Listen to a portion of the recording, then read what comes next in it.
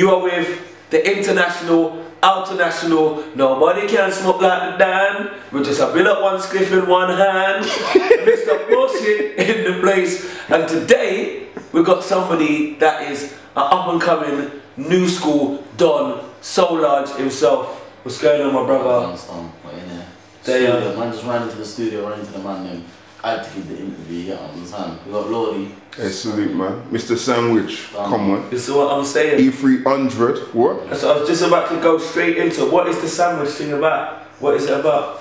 That's just real life situation, man. It, like you could, you could just take it how you want to take it, and it's music. Like you can take what you want from music, innit? Like you could just make it mean what you want it to mean. Like there's people that you could have different beefs with different things. Like there's man saying they don't like the way they look. They could just put some bread on that and just go to the gym, like spend money on a personal trainer or something. You get what I'm saying? to say? I hear you. There's people that could be watching the TV and see like I don't know kids in Africa with flies on them and say that upsets them, then do something about it. You send them money or something. You know what I'm saying? Anything that you got an issue with, like you could just like boss up and do something about it. You know what I'm trying to say? Instead of just sitting back and letting the things piss you off or irritate you. Mm-hmm. So it's like a man could just take it how they want to take it. Like it could it, mean, it could mean a hundred things, but I think like music, it should be there to inspire, and motivate people. But at this age, you can't just be making music, screaming and shouting, chatting shit if you don't feel like you're gonna change someone's mind or someone's day or someone's way of thinking. You know what I'm trying to say? Fully. Fully. So I feel like all the music we're making at this age has to have some deeper meaning to it. You know what I'm saying? It's good you say that because a lot of people are making a lot of throwaway music.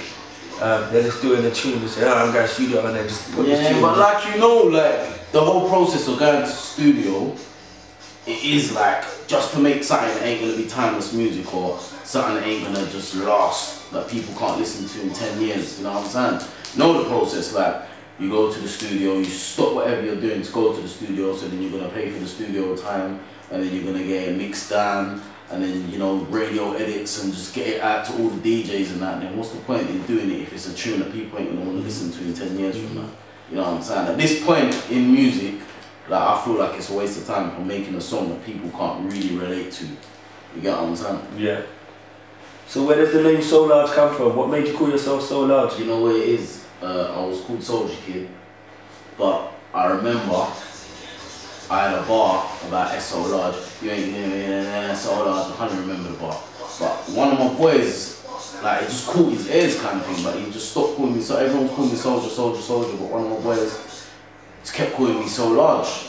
I don't know why, he just kept calling me large. He saved my number in his phone as so large. I'll ring him, he would answer the phone, large, this, that, the other. So I don't know. It's like I stopped doing music for a while. Then when I started again, I felt like I didn't want to just call myself Soldier Kid no more. So I just, just used this, I just ran with that. And then kind of stopped from someone listening to a lyric and then, you know what I'm saying? I see you got a lot of uh, yardy twang in your lyrics. Where does your influences come from?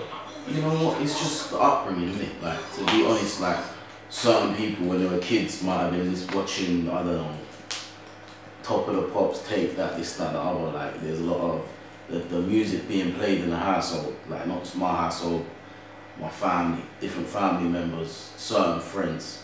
It's it's it's it was mainly old bashment stuff like Ninja Man, um, Super Cat, Banton, you know what I'm saying? So obviously naturally if you're gonna start making music, you're gonna start making music that your influence, like it's gonna your influences are gonna come out in the music naturally.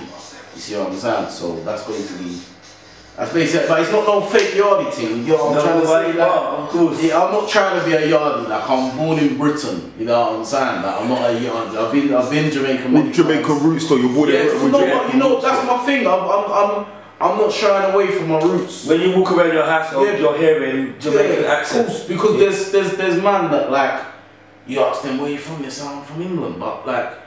I- I'm I'm black British, but I know my roots. I've been going to Jamaica since I was like 18 months old. I've been there like every couple years since that. So I know my roots. So I know I'm Jamaican. You get what I'm saying? Se- I want a haircut. Seb, why? Which which part which part which part of this town you come from? Why? I'm from I'm from the country. Half my family from the country. Half my family are from Kingston. There you go. get me? Seaford Town. It's See it there. Google it. It's a bit. of- Seaford town upon the Gaza. Yeah, it's a bit rural, yeah, That's the roots, the real roots.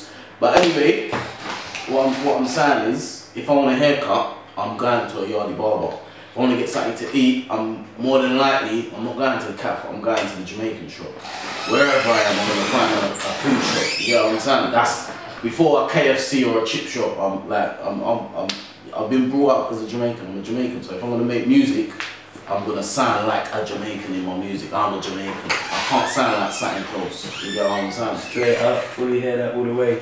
Um, go into a so large live. You got that?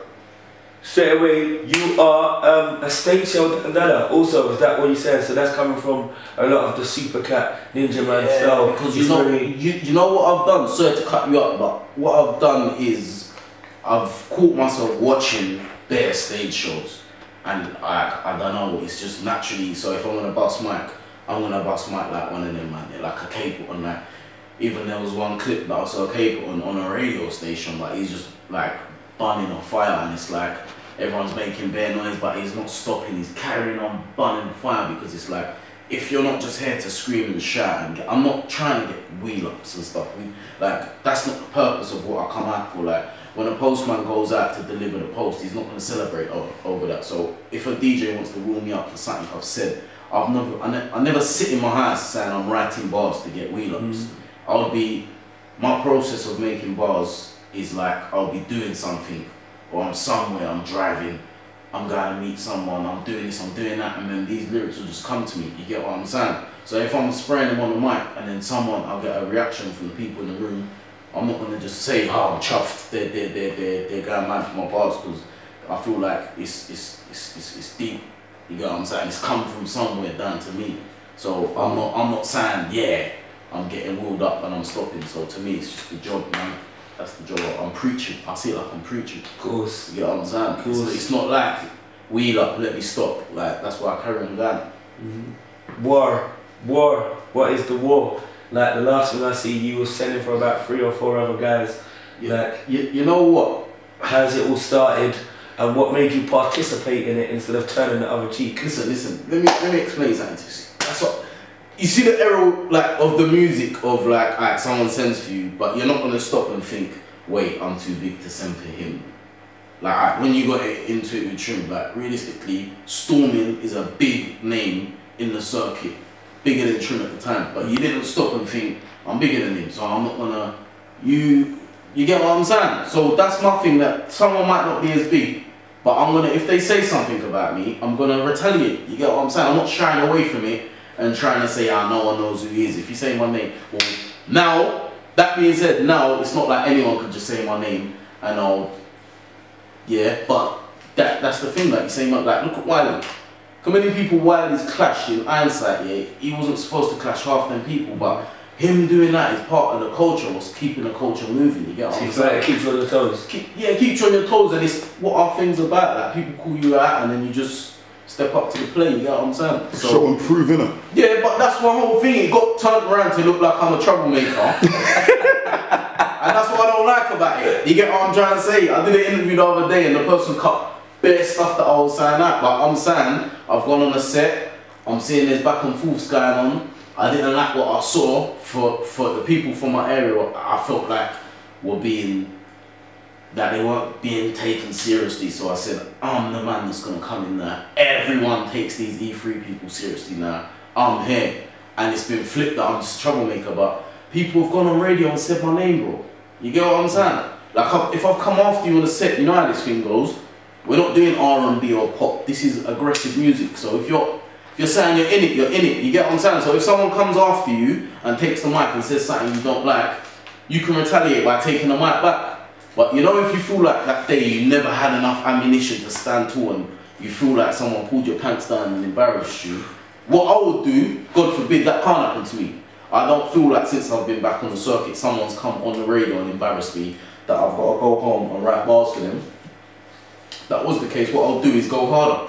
So that the next time I bump into them on radio, no one's embarrassing me. But certain man want to go and write bars and put my name in bars and spray them on radio, and I think that's so like I don't understand that. You get what I'm saying? Unless I've declared war and it's like on, but it wasn't like that. So people were writing bars for me.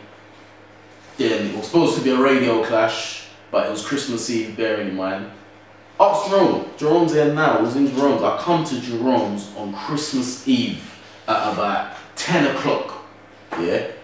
And because I got the bird called up, my man's getting a dub's getting made, so I'm thinking it's gonna be Christmas Day. It's gonna be a dub circulating for me on Christmas Day. I can't have that mm. because I can't retaliate on Christmas Day. So I'm thinking, alright, let me get to Jerome's. Last minute, we can call Jerome out now. Come here Christmas Day, Christmas Eve. I come here about 10, 11 o'clock on Christmas Eve. And I had like an eight bar that I made up in my head in the calm way. I come in with no bars. Yeah, I didn't even have the beat. I had about two beats to choose out of. Put the beat on, run the rhythm that. But my thing was, I'm not on a hype thing saying I'm, I'm doing a dub, I'm dropping a dub. I thought, if man's got a dub for me, I've got to have one myself. You know what I'm saying? So I sent it to Grime Report, yeah? Done and, that. and, and, and Lordie is my witness. I said to Lordie, yeah, don't drop it until my man drops his dub, yeah? Because I'm not on a hype, I'm saying, my dub's there. Like, I don't No, that's real talk, that's real Yeah, talk, that's I'm real not talk. playing, but I'm not on a hype. I'm not playing because like I can produce the goods. Mm. You get me? Under pressure or not? It was Christmas Eve, 10, 11 o'clock. I'm in the booth. Who are we talking about?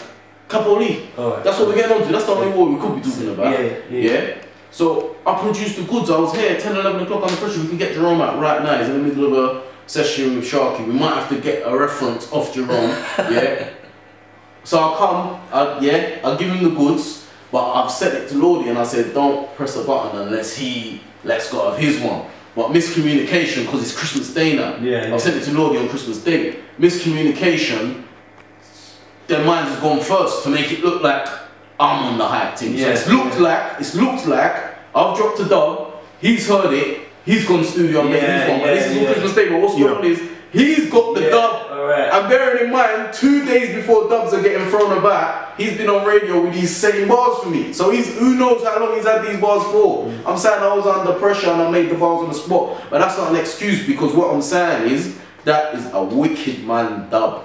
That ain't no idiot, idiot dub. That's a dancehall, wicked man dub. Not even dancehall, stage show. Kind of, boom, lick off your head back. Sure. Take that, hold that. You get me? So, but but that's what we're, like we was talking about before the camera was rolling. This internet era we're in with all these nicks and these idiots that like we can't really take their word because, like you know, this music, what it started from, it didn't start from Nicks, it was a rude music genre. It didn't even have a name, it was our thing. You get what I'm saying? So when Nicks wanna ever say that, oh, no this, that, and other, I'm thinking about, what are you talking about, bro? You don't know about, like, you get what I'm trying to say? It's not even that, oh, because you're not old school, you ain't got to say. Cool, you've got to say, but the real man them who I want to entertain would hear my music and say, my man licked off his head. Yeah. But what I don't like is they tried to ignore my second dub. You get what I'm saying? Because I did the thing, this, that, and other, but then I kept it calm on the second one, and I just spoke, I just counteracted everything he said and licked him off again, and then dealt with Merky Ace at the same time.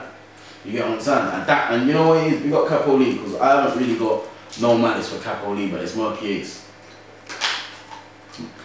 Did you see the swig of water that you know when you get so angry yeah that your mouth starts to get No, dry? it's not that. No, You no, we, the- the camera's been rolling for a good ten minutes. I needed the sip of water. I hear that, man. That was a water. Hey, I'm, I'm, I'm having one. Yeah, go, go, back back here. it. Go for it, go for it, go for it, go for it.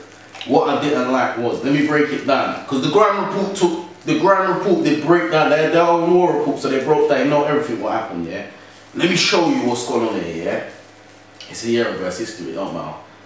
But, so, what me and Capo done, I think that's the most entertaining Christmas in grime for a long, for a long Time, man. Fam, I swear down here, that saved Christmas.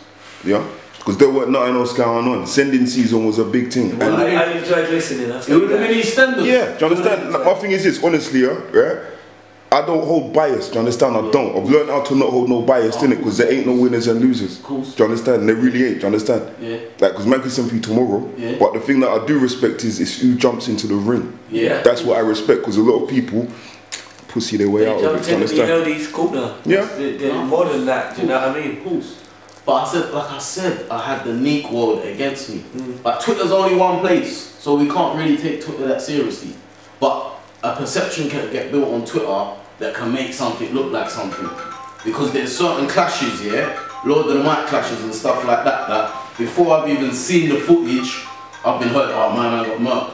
Yeah. And then I'll think, ah, fucking hell. I Talk, yeah. Like, my man, I might rate my man, so I might say to myself, I don't even want to watch it.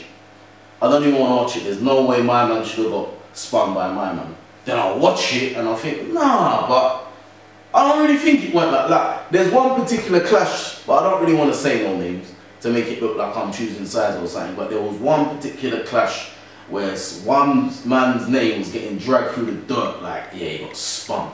He got tongued, like, he, it was mad. And then when you watch it now, And then I watched it back. Yeah, yeah, yeah, yeah, yeah. And I thought, no, like I'm waiting for the eight mile bit where they said man choked on the stage and got booed off the stage and all that. But when I'm watching it, I'm waiting for this bit, but I'm thinking like, they really go like that. You get what I'm saying? So from that, I just kind of know that this whole internet thing can make you feel a certain way about what's happened before you've even watched it. Mm. Because I've done that myself. You get what I'm saying? And not watched the clash till like three months later because hearing the result, I'm pissed thinking, nah.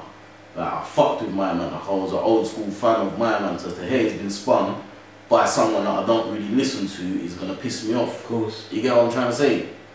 But anyway, back to the point now. The way I like the way Grime Report chopped up the war, so segment by segment, so you know exactly what's going on. But what's going on is I've sent for Capo.